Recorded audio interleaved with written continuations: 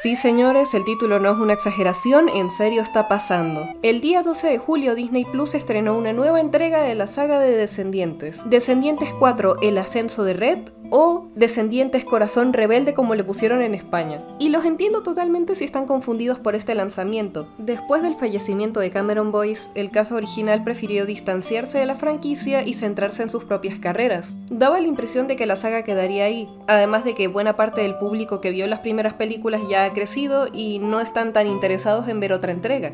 Pero parece que todo esto le dio igual a Disney y dijo, vamos a hacer otra de Descendientes pero con otros personajes. ¿Qué podría salir mal? Pues todo si me lo preguntan. Básicamente hicieron lo de siempre. Tomaron a un grupito de actores que ya habían actuado en su canal, los pusieron en una película, los mandaron a promocionar en TikToks, TikToks que a veces son más entretenidos de ver que la cinta en sí, y a ver qué sale. Es por eso que hoy, un poco en contra de mi voluntad, no les voy a mentir, vamos a ver Descendientes de Rise of Red para ver qué sorpresas nos trae. Tengo miedo. Pero antes de continuar, tenemos un sponsor, señoras y señores. Por algo traigo este sombrero. Y es que este video está patrocinado por Surfshark VPN. Surfshark te permite conectar tus dispositivos a internet de forma privada, evitando posibles ataques, permitiéndote visitar sitios web exclusivos de otras regiones y mucho más. Ya que estamos en época de vacaciones, es probable que tengas planeado salir con tus amigos, o incluso irte de viaje. En estos casos es importante tener cuidado cuando nos conectamos a redes Wi-Fi públicas, ya que muchas de estas tienen vulnerada su seguridad, poniendo en riesgo tus cuentas e información. En estos casos es prudente conectarse mediante un VPN para ocultarse de posibles atacantes, y así poder disfrutar de esa salida sin miedo a exponer tus datos personales. Pero mi función favorita definitivamente es poder conectarme desde otras ubicaciones. Este VPN cuenta con más de 3200 servidores en 100 países que te permitirán conectarte a la red como si estuvieses ahí. Por ejemplo, ahora estoy aquí, y ahora gracias a Surfshark estoy en Manchester. De esta forma puedes acceder a páginas exclusivas de ciertos países, entrar a sitios web que no están disponibles donde te encuentras y ver películas que solo se encuentran en el catálogo de Netflix de otros territorios. Por ejemplo, una situación que me pasa seguido es que el doblaje latino no está disponible en la mayoría de servicios de streaming en mi región. Con Surfshark puedo usar el VPN para ubicarme en un país de Latinoamérica y así poder volver a ver películas con los diálogos que recuerdo. Pero Surfshark no solamente cuenta con los servicios tradicionales de un VPN, su aplicación trae diferentes funciones, siendo mi preferida Surfshark Alert. Puede pasar que al registrar tus correos en sitios web, estos sufran vulneraciones de datos por culpa de filtraciones y hackeos. Aquí puedes registrar tus direcciones de email y así serás alertado cuando la seguridad de alguna de ellas se encuentre en peligro. En caso de que se lo estén preguntando, Surfshark no recopila tus datos y ha sido verificado por Deloitte, por lo que es completamente seguro. Pero eso no es todo, y es que si estás planeando contratar Surfshark, puedes usar el código GABI y el link que está en la descripción para obtener un descuento y 4 meses extra gratis. Este VPN tiene una política de devolución del dinero los primeros 30 días, así que tendrás el tiempo suficiente para probarlo. Muchas gracias a Surfshark por patrocinar este video y dicho esto, continuemos.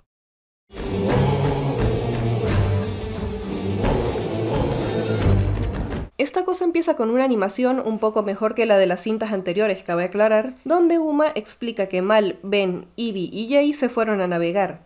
Pero se irán de viaje con Ivy y Jay en una nueva aventura. Debo irme, mi planeta me necesita. No pues qué conveniente. Y que como ya no hay barrera entre la isla y Auradon, la pusieron a ella como la nueva directora de la escuela. Porque Uma, siendo una pirata, querría específicamente ser directora de un centro educativo. En la película nos dicen que le dieron ese cargo porque a ella le gusta liderar y porque quiere ayudar a los hijos de los villanos. Pero tampoco esperaba que su forma de hacerlo fuese siendo directora de un high school estadounidense. Aquí hacen un pequeño homenaje a Cameron Boyce, dando a entender que Carlos, el personaje que él interpretaba, en este universo también murió. Ese último detalle no sé cómo tomármelo, pero es un momento bastante emotivo. ¿Estás segura? Es lo que Carlos habría querido. Hazlo en honor a él. Uma invita a los hijos de los villanos a inscribirse a la escuela, incluyendo aquellos de otros reinos que no están en Auradon, como por ejemplo el País de las Maravillas país que no se había mencionado en las otras entregas y que al parecer está separado de Auradon porque su reina es muy mala y les declaró la guerra. Pasamos a ver la capital del reino, donde la reina de corazones tiene un gobierno totalitario. Todos deben obedecer sus órdenes o morirán, pero hay una persona que se niega a obedecer, y esa es, ni más ni menos que, su propia hija, Red, que por cierto paro aquí para decirles que la actriz de Red es de ascendencia venezolana por parte de su madre, no sé, es algo que descubrí investigando y me pareció curioso. What else? Oh, tequeños, my favorite. La verdad no me queda claro si sabe español o no, pero el amor a los pequeños es universal, así que se le quiere. Como es costumbre, nos la presentan con una canción. Esta canción probablemente sea de las mejores de la peli. Es bastante pegadiza, el número está bastante bien montado, pero a la vez me da vibras de canción con la que la gente haría edits de personajes en TikTok. Sé que es un comentario muy específico, pero escuchen esto y díganme que no.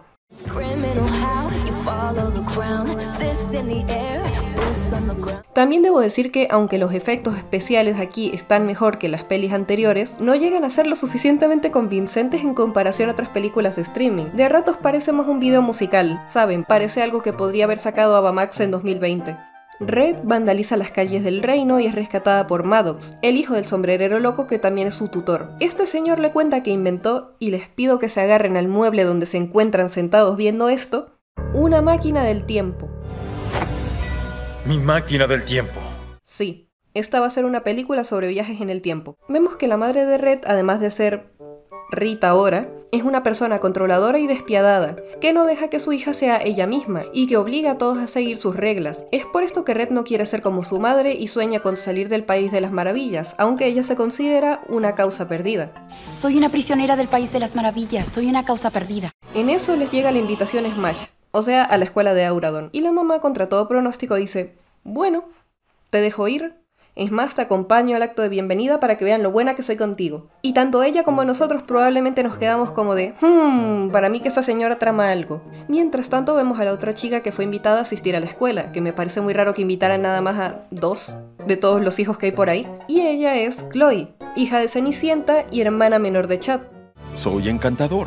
Oh, eso es cuestionable. Aquí tengo que parar para contarles un dato muy importante y bastante largo que tiene demasiadas capas. En esta película los actores que hacen de Cenicienta y Encantador son Brandy Norwood y Paolo Montalbán, actores que habían hecho estos papeles en una adaptación de la Cenicienta para Disney Channel en el 97, donde la reina era Guppy Goldberg y el hada madrina era Whitney Houston.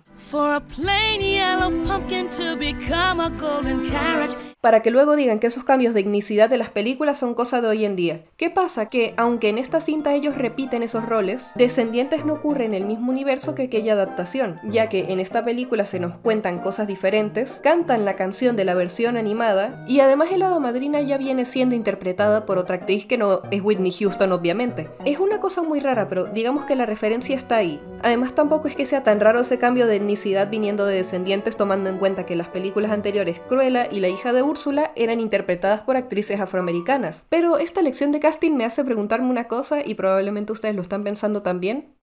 ¿Y qué pasa con Chad? ¿Será que lo heredó de algún abuelo? ¿Será que es adoptado? ¿Debería estar yo preocupándome por la genética de un personaje en Descendientes? Definitivamente eso último no, pero me hace gracia que todos en esta familia sean un amor menos él que estuvo molestando toda la saga.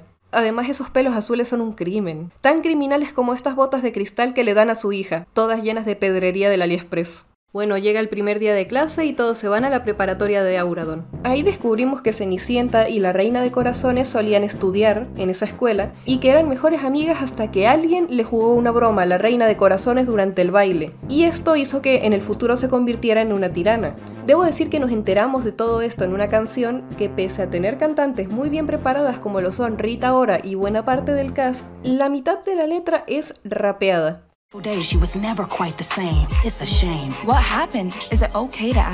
Además de que los pocos momentos donde cantan son bastante buenos, no entiendo por qué desperdiciarías la mitad de la canción rapeando sin ninguna sazón.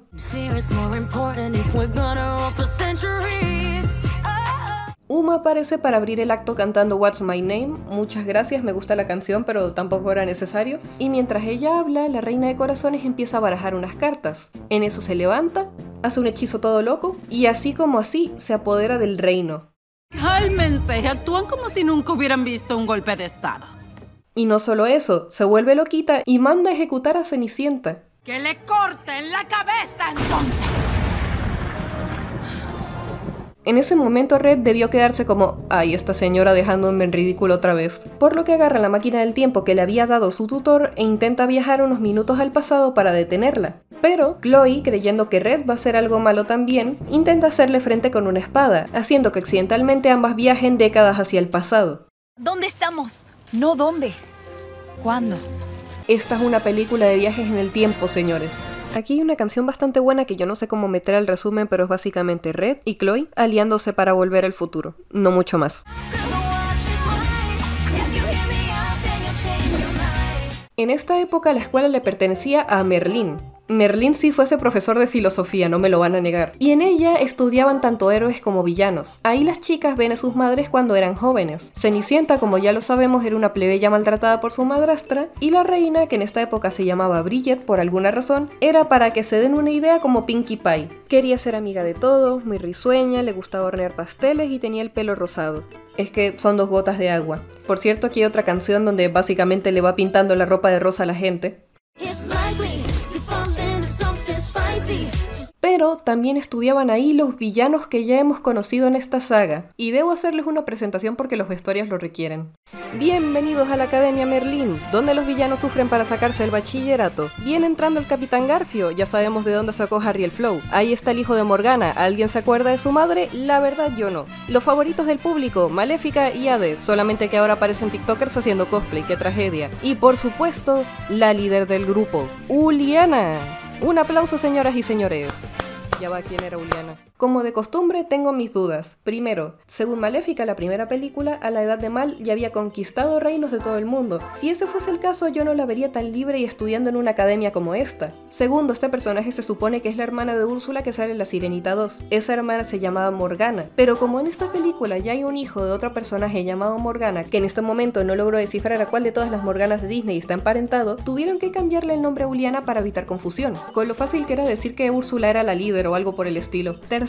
Al Morgi se le ve el filtro cuando baila. Y ya eso es todo. Estos señores le hacen bullying a Bridget y a Cenicienta. En un momento, Uliana le roba los ponques que pintan cosas de rosado a Bridget y tiene tanta mala suerte que le da un efecto secundario medio extraño y se convierte en un flamenco. Permítanme decirle que el efecto se ve baratísimo, sobre todo la persecución, que es esto. ¿Recuerdan que la reina se volvió malvada porque le hicieron una broma en el baile? Red y Chloe empiezan a sospechar que los villanos fueron los culpables, por lo que empiezan a investigar qué clase de broma le hicieron. Por otro lado, Cenicienta invita a Bridget al baile para que no se sienta sola pese a que el príncipe encantador la invitó antes. Si tú cambias de opinión, beberé ahí. El príncipe encantador de joven era skater, pero parece skater de los que consumen grama mágica, si saben a los que me refiero. Red y Chloe van a visitar a Cenicienta para que les cuente más sobre Bridget y así adivinar qué clase de broma le van a hacer. Ahí Chloe se queda sorprendida al descubrir que su madre vive trabajando para su madrastra, y que a diferencia de como es en la actualidad, no le gusta nada lo relacionado a la realeza. Bridget sigue intentando ser su amiga. Eso es lo que Juliana no tolera. Además, accidentalmente le rompe un jarrón y la madrastra viene a castigarla por su culpa. Después de eso, se van a un pantano para vigilar a los villanos. Se los encuentran haciendo un bailecito y cantando sobre qué clase de broma le harán a Bridget.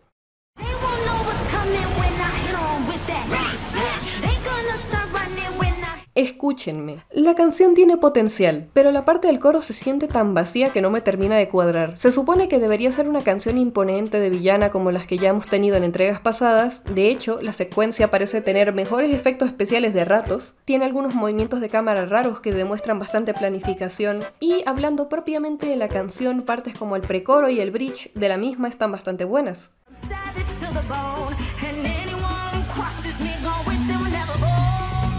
Pero es que aún así el coro no me termina de convencer.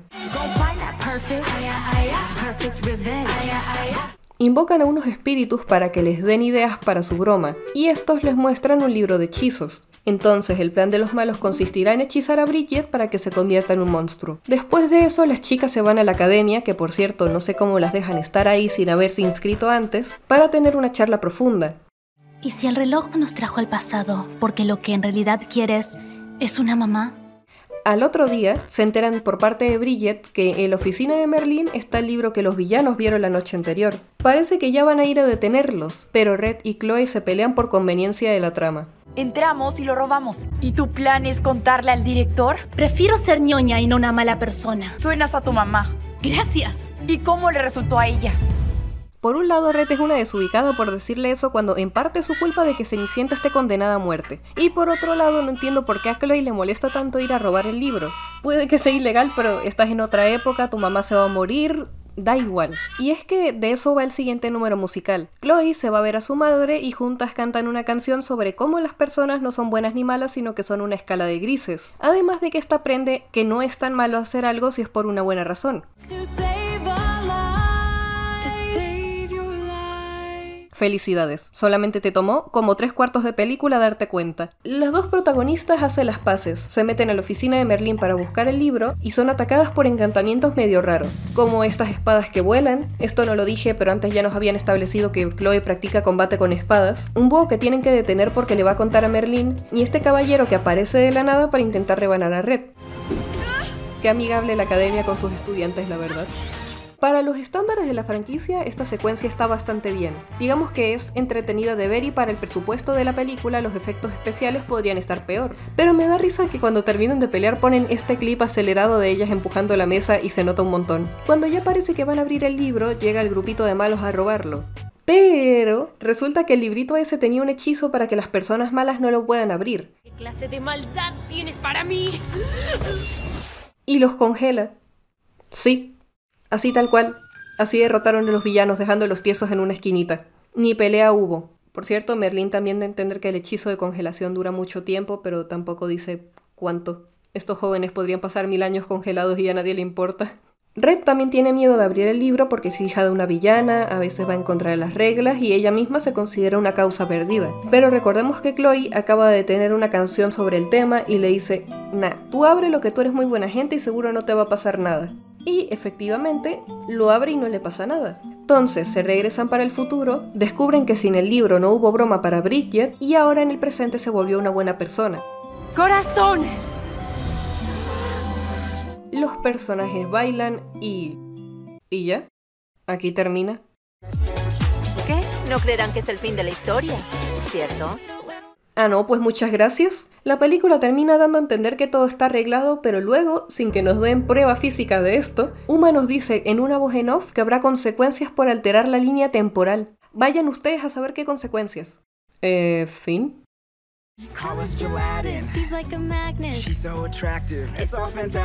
Mientras procesamos ese final que acabamos de ver, pasemos a los puntos positivos de Descendientes 4. Tengan en cuenta que digo esto basándome en los estándares de la saga. Ajá, esto ya lo sabemos, las canciones están buenas como siempre. Es verdad que hay partes puntuales de algunas que no me gustan, sobre todo el coro de la canción de Uliana y las partes de rap en Love Ain't It, pero la barra sigue igual de alta que las pelis anteriores.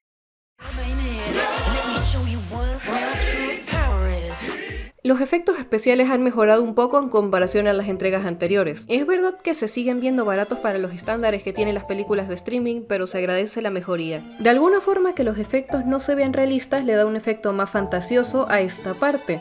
Claro, cuando están bien hechos. Y eso se relaciona con el siguiente punto. Me gusta que la estética de esta parte se vea mejor lograda que las entregas anteriores. Auradon y el País de las Maravillas se ven más coloridos, dando la impresión de que estos lugares sí existirían en un cuento de hadas. Esto probablemente se deba a que Descendientes 4 tiene un uso más notable del etalonaje, o sea, los colores han sido editados con más atención que en otras entregas. La escena de la pelea en la oficina está coreografiada y montada de forma decente. Realmente puedes sentir algo de tensión mientras ellas luchan por tomar el libro, y puede que tenga mis problemas con esto como un clímax, pero eso ya lo hablaré después. Red y Chloe hacen un dúo protagonista bastante lindo. Red es la que más tiempo de presentación tiene. Claro, ella es la que le pone nombre a la película, porque nos muestran su relación con su madre y cómo esto le afecta en su vida diaria. Pero Chloe también tiene sus momentos, al aprender que a veces le tocará hacer cosas incorrectas siempre que sea por un bien mayor. Especialmente me gusta que centren el protagonismo en un dúo y no en un grupo, ya que uno de los problemas que más me molestaba de la trilogía original era que no desarrolló tanto personajes como Carlos y Jay. El cast hizo un trabajo bueno con lo poco que les dieron. Tenían 5 dólares, un sueño y mucho talento. Además de que varias de las actrices tienen mucho talento para el canto y eso se agradece. Sobre todo me sorprende que lograran fichar a Rita ahora para esto. Y hasta aquí. Procedemos con los puntos negativos. Hay un par de decisiones que me parecieron bastante raras, sobre todo tomando en cuenta el futuro que va a tener la saga. Primero, ¿por qué esta es una película de viaje al pasado? Siendo la saga de los descendientes, hubiese esperado que en esta entrega nos mostraran más hijos de personajes en lugar de los villanos jóvenes. Durante buena parte de esta trama solamente vemos a los personajes originales como jóvenes en vez de ver a descendientes de hijos de villanos o de héroes. Segundo, ¿por qué la líder del grupo de los malos es la hermana de Úrsula? He visto muchas personas decir que Maléfica no podría ser líder porque en la primera cinta, en la canción que canta con Mal, ella dice que era muy insegura cuando era joven. Aún así, ya que estaban dispuestos a poner villanos jóvenes, estaría mejor poner como jefa a la propia Úrsula, no a su hermana, que además es una hermana que salió en una secuela directo a DVD hace más de 20 años y a la cual tuvieron que cambiarle el nombre porque lo comparte con la mamá de otro villano, que por cierto, ¿quién se supone que es la madre de este señor? Una cosa que me pareció rarísima fue el diseño de vestuario que tienen las protagonistas. Es verdad que esta saga se caracteriza por tener estilos bastante estrambóticos, sobre todo en la primera cinta me quejé un montón de que no me gustaban los trajes de cuero, y puede que también esos diseños hayan sido muy coloridos, pero los diseños en películas anteriores tenían variedad en esos colores. Por ejemplo, Mal tenía una paleta de colores mayormente morada, pero usaba distintos tonos de morado combinados con tonos de verde. Lo que pasa en esta entrega es que tanto Chloe como Red usan exactamente el mismo tono de azul y rojo en toda su ropa. No hay variedad en esos tonos. Por esta decisión de vestuario, cuando las enfocan desde lejos, además de desentonar con el resto de personas, parecen la versión live action de Fireboy y Watergirl. También quiero hacer una mini lista de incongruencias que encontré en la trama porque, aunque podrían ser resueltas en una posible secuela, fueron cosas muy notorias y me fueron generando demasiadas dudas mientras veía esto.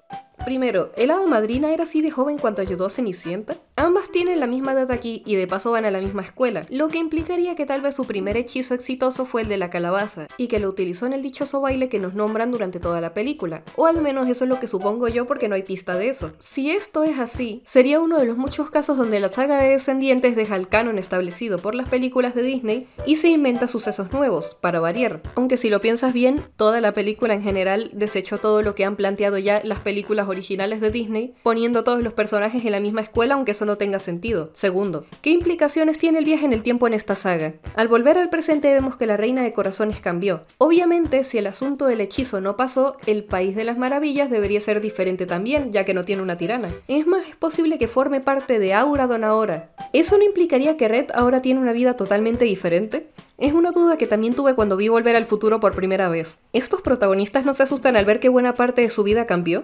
Y tercero, si los villanos se iban a quedar congelados por tener malas intenciones, ¿cómo lograron hacer el hechizo en la línea de tiempo original? Si esta gente hubiese entrado a la oficina por sus propios medios, igualmente hubiesen quedado congelados al tocar el libro. ¿Qué pasó ahí? Lo que más le juega a esta película en contra es la estructura de su guion. No hay un clímax interesante. Aunque las entregas anteriores dejaban cabos sueltos para continuar la historia, siempre había un enfrentamiento final contundente, donde los protagonistas parecen tener alguna desventaja y bastantes probabilidades de perder, aunque, claro, esto es una película de Disney. Siempre sabemos que no va a ser así. La cosa aquí es que el clímax de Descendientes 4 ocurre en una oficina. No hay enfrentamiento contra algún villano imponente. Sabemos que las protagonistas no tendrían oportunidades de perder porque ya nos mostraron que son expertas en hacer parkour y en luchar con espadas. Y cuando aparecen los malos de la película no hacen nada y acaban congelados solos. Para colmo, el final se siente apresurado y está vacío. El baile del que estuvieron hablando toda la película no aparece. En ese baile podríamos haber visto por qué es que Bridget desarrolló esa obsesión por el orden y la tiranía después de la broma. Y da la impresión de que, no sé, no les dieron las cuentas y tuvieron que cortarlo último minuto. Sé lo que muchos de ustedes estarán pensando y es algo que he visto en redes sociales los últimos días. ¿Qué tal si esta historia se siente incompleta porque seguirá siendo explotada en una secuela? Tal vez por eso no vimos el famoso baile, tal vez por eso Cenicienta hacía comentarios tan raros al inicio. De hecho, tiene una forma de expresarse que parece más la de una puli intentando disculparse. Sé que lo que pasó fue duro para ti, pero eso fue hace años. Siento que fue ayer para mí. Fue una torpe broma. Tal vez fue ella quien le jugó la broma a Bridget, tal vez por eso los villanos eran tan inútiles, y por eso Uma hizo tanto énfasis en que jugar con el tiempo es malo. Si la historia va a tomar el rumbo que creo que va a tomar, déjenme decirles que eso lo podían desarrollar en una sola película que fuese un poquito más larga.